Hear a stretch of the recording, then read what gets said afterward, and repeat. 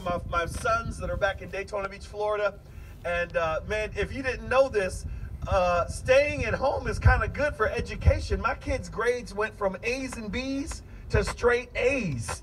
You know why? Because we were there like! How many y'all have been, have beat your kids a few extra times? I'm just kidding. Don't, don't. but it's been so amazing being together as family, even though there's been hard times and difficulties. How many y'all know God is good? He has never failed, nor will he ever fail. And he has consistently been there for us through every obstacle. And I'd like to thank uh, Pastor Jamie and Kim Gardner and this entire church staff has worked so hard to make sure that we could be here together today. Isn't that great? Um, while you're looking up Acts chapter 1, in your bulletin, there is a description. You can pull it out of it's called a product order form. This just helps us simplify you getting some of the ministry material that we have for you. For instance, um, we have a, a DVD series back there called Empire Strikes Back. You can get that. Uh, all about seeing victory when it seems like everything's against you. We also have our book Undefeated back there. You can get that. It's going to be at the exits as you leave. I'll explain in a moment. You can get a copy of the book. You can get our t-shirts. Now, these are not normal shirts. These shirts are COVID killing shirts. That's right. Because we believe anything that tries to stop us from getting together needs to be killed. So here's what we got. We got a shirt that says, All I need is Jesus. Mm-hmm. And on the back it says, And some toilet paper. How many y'all need a shirt that says, All I need is Jesus? And on the back it says, And some toilet paper. I love that shirt. Um, I've witnessed to people at the grocery store standing six feet apart, believe it or not, because I was wearing a t-shirt. They're like, "Oh, I like that shirt." I'm like, "Oh, you you'll like my Jesus even more." Let me tell you about Jesus. It's so much fun. You can get that. And then my favorite is the one that says prayer kills COVID-19. I love that. The Bible says in Second Chronicles chapter 7, if my people who are called by my name will humble themselves and pray and seek my face and turn from wicked ways, he said, I'll hear from heaven, forgive their sin, and heal their land. That scripture's on the back. We know that God is in control. So if you want any of those things, you can fill it out on the form. As you leave, all you do is hand that form out of the window and we hand those items into your window, and then you give us all your money. We give it to Jesus, and then you go home. Oh, hallelujah. That's good. I didn't hear any honking on that one. Acts chapter 1. If you're ready for the word of God, somebody honk their horn. You know, Pastor Jamie, I forgot. It's really hard to do a thumbprint scanner on your iPad when you have gloves on. Did y'all ever try that? That doesn't work. Look, that that is it okay if I punch? I'll punch in the coat. There we go. It worked. It worked. Hallelujah. Acts chapter 1, verse 1. Actually, let's go to verse 4. And being assembled with his disciples, Jesus commanded them not to depart from Jerusalem, but to wait for the promise of the Father, which he said, You have heard from me. For John truly baptized with water, but you shall be baptized with the Holy Spirit not many days from now. Therefore, when they had come together, they asked Jesus, saying, Lord, will you at this time restore the kingdom to Israel?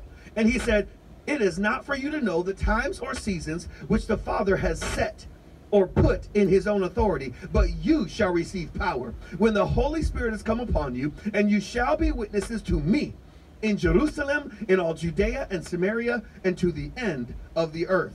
Oh, this is good. Father, I pray this morning that, Lord, in the time that we have, you would supernaturally impart power upon your people. Transform us, Lord, from inside our car to outside our world. In Jesus' name. And everybody say, Amen.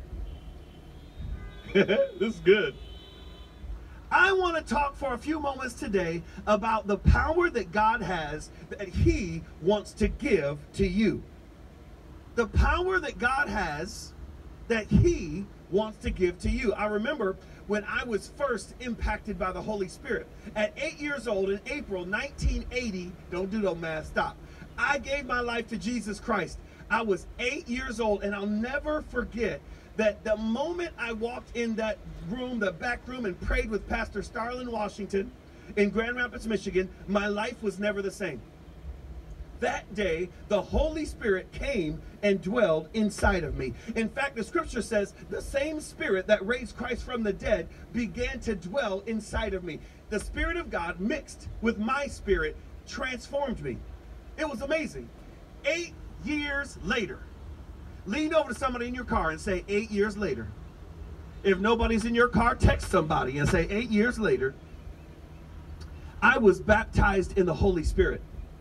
And let me tell you the difference between Allen at 8 and Allen at 16. Allen at 8 was in love with Jesus. Allen at 8 wanted to do right by Jesus. Allen at 8 years old still did try to steal a bit of honey candy bar from the A&P grocery store and got three whoopings. You ever gotten three whoopings for one sin?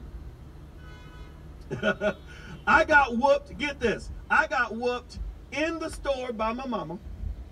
I got whooped by the store manager at the A&P while my mom watched. Then I got whooped at home by my dad for making my mom whoop me at school. I mean, at, at, at the store. It was unbelievable. I needed it. I was bad as a mug. But I'll never forget at 16 how things changed. L- let me explain. Before I can even talk about this power, I got to explain the transformation and what it meant to me. You see, the power of the Holy Spirit that is talked about in Acts is not just any power, it's power to do something that we could not do without God's help. It's the power to be a witness, it's the power to transform lives and communities. It's the power to take your digital small group and turn it into a world radicalized revival. Let me explain. In a few weeks, we're going to get back together as a church on Pentecost Sunday. Pentecost. What is Pentecost? Really simple. Pentecost is 50. 50 days after Jesus resurrected, and 10 days after he ascended into heaven, the disciples gathered together for a feast. I like feasts. Have you noticed? I got my COVID 15 pounds on right now. The church back then had feasts, and they had three annual feasts. Each one of the feasts celebrated different things. Pentecost feast was about the giving of the law and the spring harvest of food that would come in through farming. And they would have this great feast. During that time, the disciples were hanging out together in a room set aside for their gathering. And during that meeting, time together, all of a sudden, there was the sound of a mighty rushing wind. The Bible says that it filled the whole house where they were seating. And cloven tongues appeared as a fire over the heads of each of them. And they all were baptized in the Holy Spirit and began to speak in languages they'd never before studied. Around them in the city of Jerusalem, below that window, were God fearing Jews, devout Jews from all over the world that had come to Jerusalem for the festival of Pentecost, the, the, the, the, the, the feast of Pentecost. They all heard the gospel in their native languages from countries all over the world. Everyone heard the gospel being preached in their own language. Jesus prophesied and told the disciples this day would come.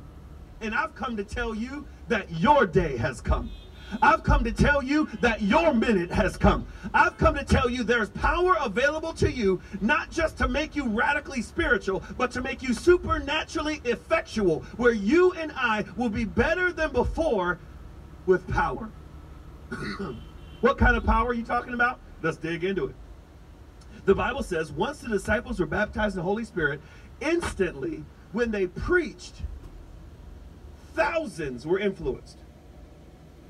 John chapter 16, verse 8 says, The Holy Spirit will convict the world in regards to sin and righteousness and the judgment that is to come. Acts chapter 1, verse 8, Jesus said, You will be my witnesses in Jerusalem, in Judea, Samaria, and to the uttermost parts of the earth. I also noted that Paul said that when you're baptized in the Holy Spirit, that it is a sign to the unbeliever. It's also praying in relationship with God in a fire, if I could say it like this, a, a fireside chat with the Spirit, the Son, and the Father. Where you're literally praying within the person of the Trinity of God. That's pretty cool. You ever wanted to pray the will of God? Have you ever prayed the wrong prayer? I have. Oh God, give me that girl in math class. She is so fine, Jesus. I need that little red-headed girl in my life. I am so grateful God did not give me what I prayed for. Oh, thank you, Jesus. But what a wasted prayer that was, right? When you pray in the Spirit, you're not wasting your breath or your prayers. You're praying right within as the Spirit gives you what to pray, and you're praying the will of God in relationship with God for God to do great things in and through our lives. Wow, I, I, I'll never forget my transformation. Eight year old Allen was Baptist, in case you didn't know. And eight year old Allen became an EE trainer by 12. Eight year old Allen would go to the A&P grocery store after I stole from it. And I would share Jesus with people with my dad in the parking lot, just like this. We would walk people to their cars. I would push the cart and put the groceries in their car. And my daddy would say, Allen, yes, daddy. This is my son Allen. I want to introduce you to him. He has something God wants you to know. And I look at him I say, Jesus saved me. Not long ago, I stole stuff from this store and I got a whooping. But Jesus forgave me. And I'm a, I, I'm a Christian now and I'm going to heaven and I want you to go to heaven too. And the people would look at me and they look at my dad and they'd see that we were serious and my dad and I would hold hands with them in the parking lot of the grocery store and lead people to Jesus. We did it every week. Uh, it, seemed like for six or eight months we were at the grocery store every week. That was the six, that was the eight year old Allen all the way up to the 12 year old Allen. The difference was I used to walk up to people and try to convince them of Jesus, convince them of their need for forgiveness.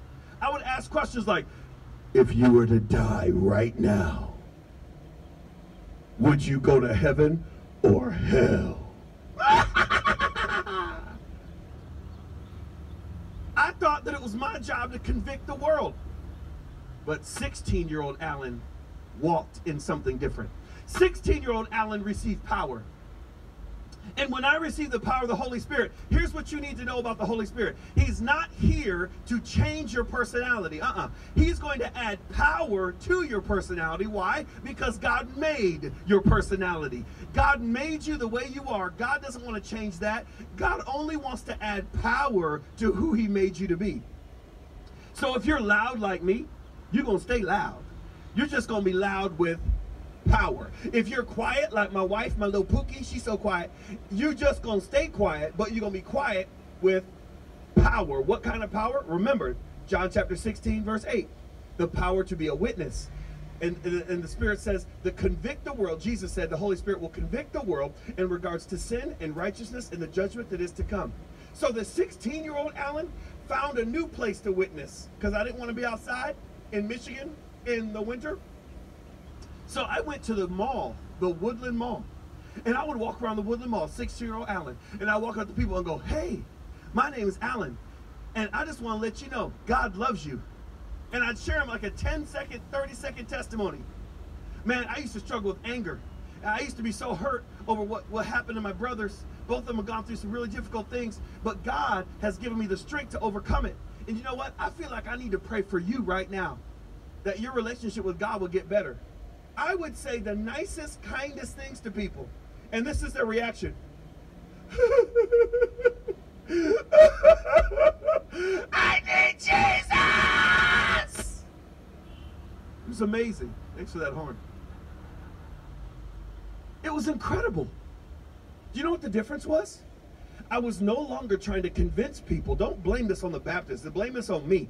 I was no longer trying to, to convince people they were sinners. I was no longer trying to talk people into their faith. All I was doing was telling my story, telling my testimony, and the Holy Spirit did all the sales. He convicted them of sin, He corrected them when they needed it, He did all the work, and I got out of the way. Why? Because God gave me the power to step back and tell the truth. And the Bible says, when you tell them the truth, the truth will make men, women, and children free.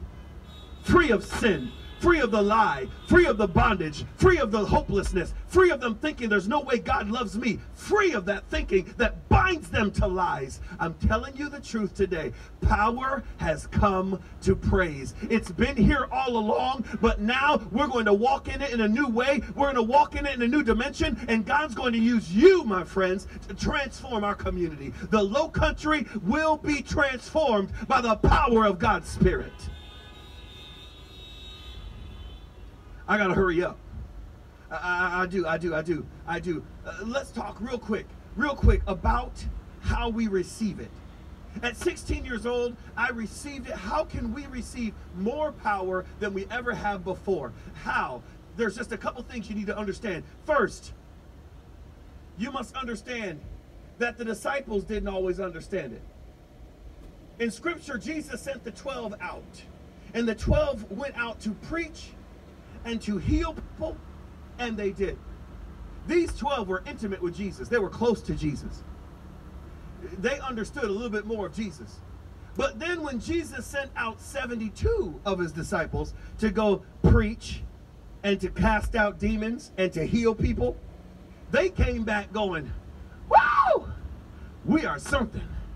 Look at us. We are changing our world. We're casting out demons. We are casting out. I, I grabbed one demon, lifted him up, punched him in the face. He was like, I punched him again. I said, go to, go to hell, devil. And Jesus is sitting there the whole time. Can I transliterate this? Jesus sitting there the whole time like this. Mm, mm, mm. These poor kids. These women, these men out there slaying demons, they don't understand. Jesus said, Don't be happy that demons are subject to you. This ain't about demons. Be excited that your name is written in the Lamb's book of life. Let me transliterate that. Let me help you understand what Jesus was saying. He was saying this it's one thing to take something evil out of a person, but it's way more important of what goes into that person. And what we need is the Holy Spirit to come into us and make us new. When we're saved, the Holy Spirit comes in, but when we're baptized, the Holy Spirit surrounds. I can't wait to go back to the beach. Now, listen, I know a lot of people already went to the beach. I have not been to the beach yet, okay? The reason is I've been doing food distribution in my community, and every time my little delicate body goes outside, I get sunburned. That's right, black people sunburn, y'all. My milk chocolate turned to dark chocolate, then it turned to, to dark chocolate with like red splotches. So I have to wait to go to the beach. I got to get, you know, conditioned for the beach. But one of the things I love is jumping in the water and that feeling of just being surrounded by water and the peace that you feel when you're in that water. That's why everybody's fighting to get back to the beach because that water is amazing. It feels like life is around you, not just sharks. But you know, it's one thing to drink water, it's another thing to be immersed in water. Jesus talking about baptism, what he's saying is this what goes into you is the Holy Spirit. But if you're baptized the Holy Spirit and the power that you receive is an immersion in the things of the Spirit, it's one thing to have something inside of you, it's another thing to be surrounded by it. And the power and the peace and the joy that comes from it is immeasurable. How do we get it? Very simple. Intimacy with God leads to integrity. Integrity with God leads to authority. And after you have authority, you get power. And we only get power to affect world domination. See, eight year old Allen was out there just trying to do my spiritual duty. 16 year old Allen wants to slay all sin in the world and see the world transform. After I was baptized in the Holy Spirit, I prayed the sinner's prayer with a thousand people over three months. I went person to person. I was tireless. I was relentless. I was excited. I was even a little weird. Because after a while, I'd be like listening to the Spirit, and the Spirit would tell me stuff, and then I would just say it in a weird way. You ever meet somebody who's weird and they think weird is spiritual? For a minute, I got weird. When you're when you're a little bit less spiritually mature, you get weird when the Spirit talks to you. So I'd walk up to people, I'd be like, I feel like God is talking to me about you. and then I realize it doesn't take all that. God will speak to you, and He'll speak to you in such a calm voice, such a peace voice. And then it's up to you about what you do with it. It's up to you about how you respond to Him. At first, I was a little immature. But I figured this thing out a little bit. That my intimacy with God, that means a relationship with God. If you don't have one, we're going to pray and yours can start today. It led to integrity. I started to walk and live what I believed. And then the integrity led to authority. So that when I prayed and when I ministered, I had the authority of God behind me. That's what the disciples had. When they went out, they cast out demons. They had authority. They healed people. They had authority. But then came power. And power my friends, is not for us to possess, it's for us to be used.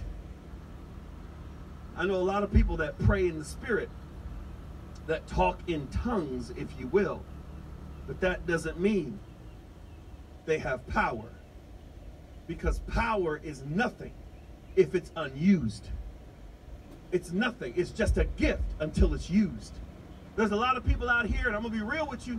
I'm not usually real, but I'm in a parking lot right now. You have talents and abilities you have not used for God. Now is the time to use them.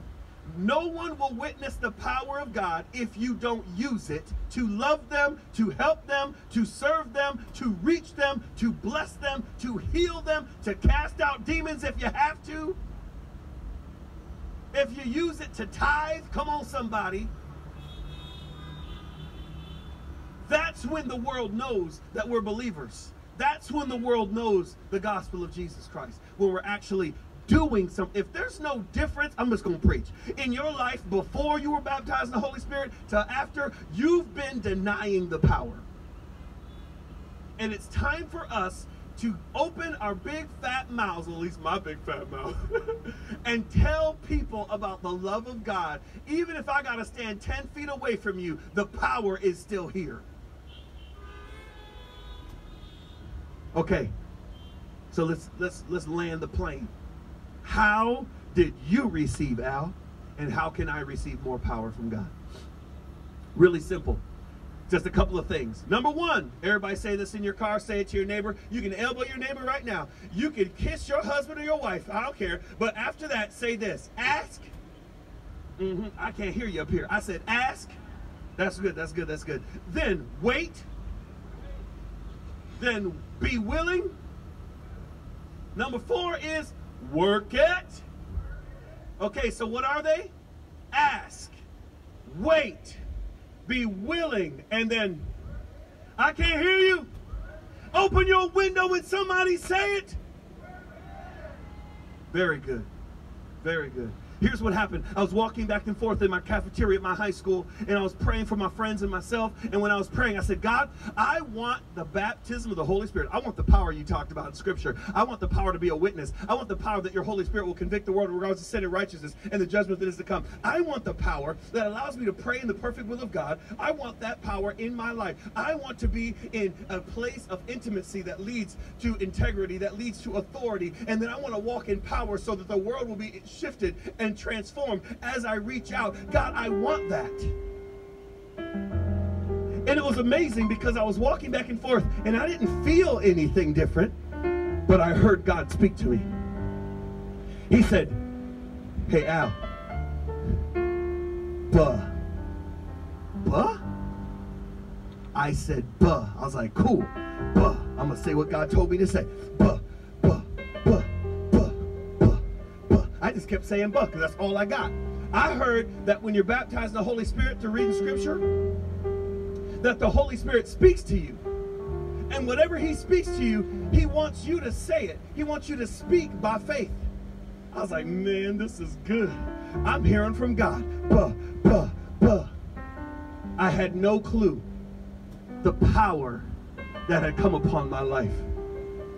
When I walked out of that cafeteria, two of my friends walked up to me the same day and they go, What happened?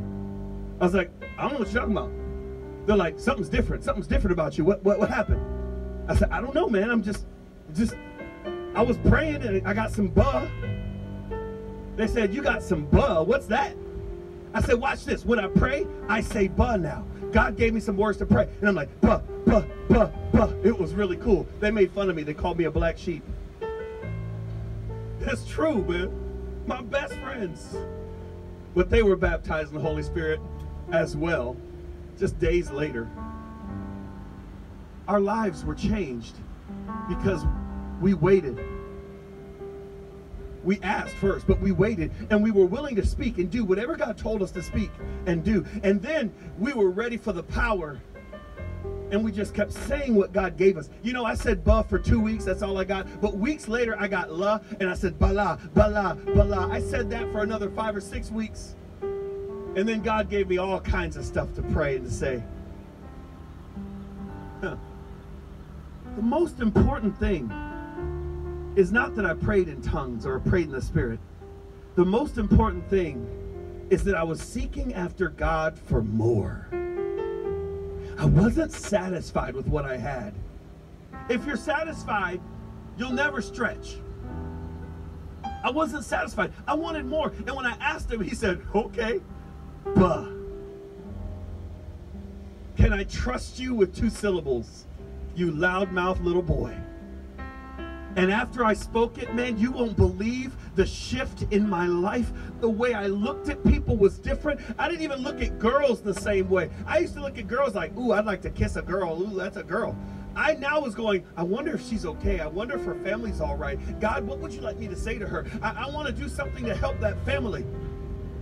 My perceptions shifted because I wanted more, and the more was the power to share and love people for Jesus.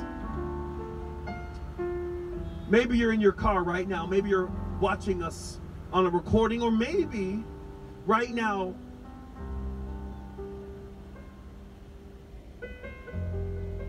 you're at home.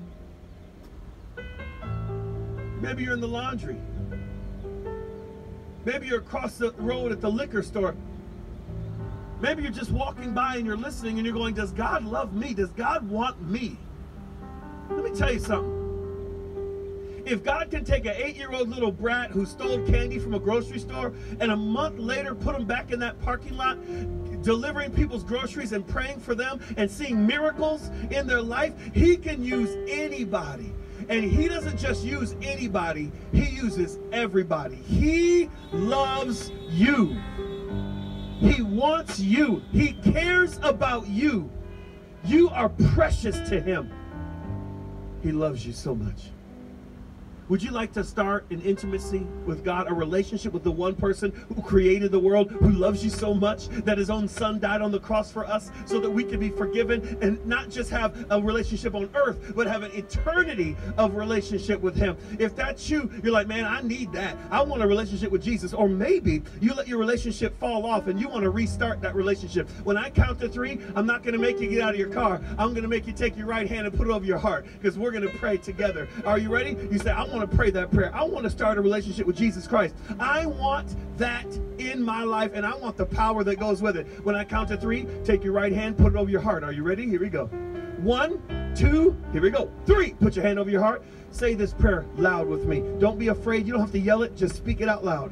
Everyone who prayed in the Bible prays out loud. So let's pray out loud. Say, Jesus. Say, Dear Jesus, I need your forgiveness. I've messed up. And you died for me. And you rose again for me. I need your forgiveness to take away my sin. I give my life to you. In Jesus' name. Amen. The Bible says that if you meant that prayer, you don't have to write the prayer to mean the prayer. But if you meant that prayer, that your relationship with Jesus has begun, and get this power